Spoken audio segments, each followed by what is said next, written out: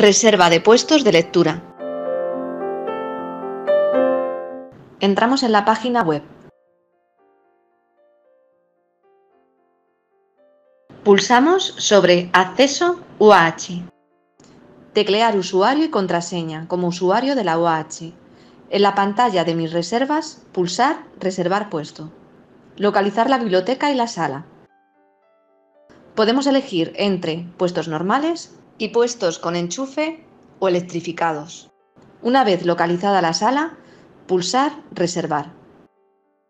Seleccionamos qué franjas horarias queremos reservar. Podemos reservar varias franjas horarias consecutivas de un mismo día. Podemos acumular varias reservas. Por ejemplo, hacemos una reserva de varias horas del día siguiente. Se puede reservar hasta con 5 días de antelación. Elegimos el puesto. Por ejemplo, el puesto 10. Confirmamos la reserva. Se nos indica que se ha generado la reserva.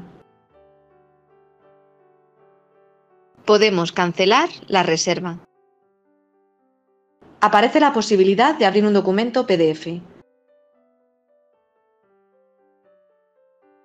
Al abrirlo tenemos los datos de la reserva junto con un código QR.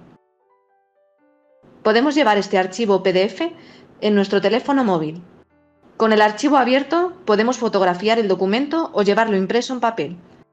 En la entrada de las bibliotecas que disponen de Accede hay un escáner, lector de códigos QR. En el momento de acceder a la biblioteca tenemos que verificar la entrada mediante los siguientes pasos. Paso 1. Presentamos el código QR bajo el escáner.